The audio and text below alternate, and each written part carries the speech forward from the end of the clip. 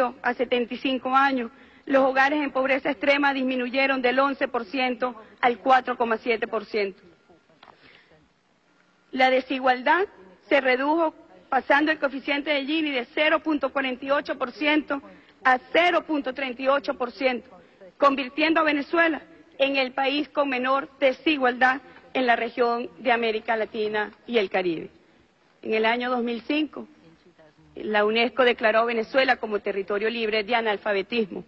En el año 2015, la FAO reconoció por segunda vez los avances de Venezuela en la erradicación del hambre y la reducción de la pobreza extrema. En varias oportunidades, el PNUD ha reconocido los importantes avances del país en la consecución de los objetivos de desarrollo del milenio. Y estamos comprometidos en la agenda económica bolivariana a incorporar la Agenda 2030 que aprobó la Asamblea General de las Naciones Unidas el año pasado.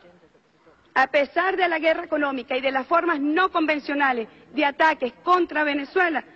las conquistas sociales de la revolución permanecen y continúan. Queremos denunciar en este foro que contra Venezuela existe una especie de bullying de la derecha internacional contra el país, activando poderes fácticos como las corporaciones mediáticas, los poderes financieros, para estrangular la economía y someter al pueblo de Venezuela, que en definitiva busque la intervención internacional para apoderarse de sus recursos naturales.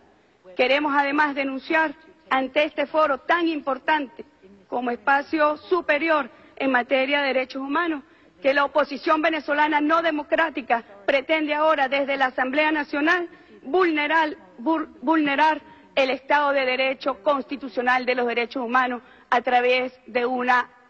denominada ley de amnistía que perdona delitos como el narcotráfico, el terrorismo, la corrupción, el fraude inmobiliario y todo tipo de delitos cometidos desde el primero de enero de 1999, cuando entró en vigencia la Constitución de la República Bolivariana de Venezuela, hasta su entrada en vigencia, perdonando incluso delitos que puedan cometerse a futuro, dándole la esperanza a las facciones violentas políticas en Venezuela para derrocar el gobierno y dándole esperanza con esta ley de impunidad y de autoperdono. Esto violenta absolutamente toda la doctrina internacional en materia de amnistía y en ese sentido solicitamos a primera hora del día de hoy al alto comisionado de los derechos humanos un estudio para que se evidencie el carácter anticonstitucional y violatorio de los derechos humanos que pretende la impunidad en un aspecto donde no corresponde.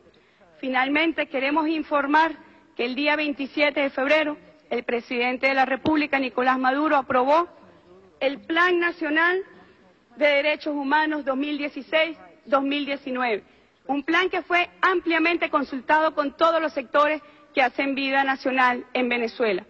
Recibimos más de 250 mil propuestas que están siendo procesadas y tiene cinco ejes estructurales que tiene que ver con una cultura emancipadora del pueblo de Venezuela en materia de derechos humanos, con la participación protagónica y democrática del pueblo, que tiene que ver con el reforzamiento de la institucionalidad en materia de derechos humanos para el ejercicio efectivo del disfrute de estos derechos, que tiene que ver con el relacionamiento con los organismos internacionales y con la materia de los derechos humanos transversales a toda la vida política nacional. Queremos, no sin antes despedirnos, ratificar el compromiso de la revolución bolivariana con el presidente Maduro al frente, con el ejercicio efectivo de los derechos humanos y hacemos así homenaje al gran precursor en esta materia, al comandante Hugo Chávez. Muchísimas gracias.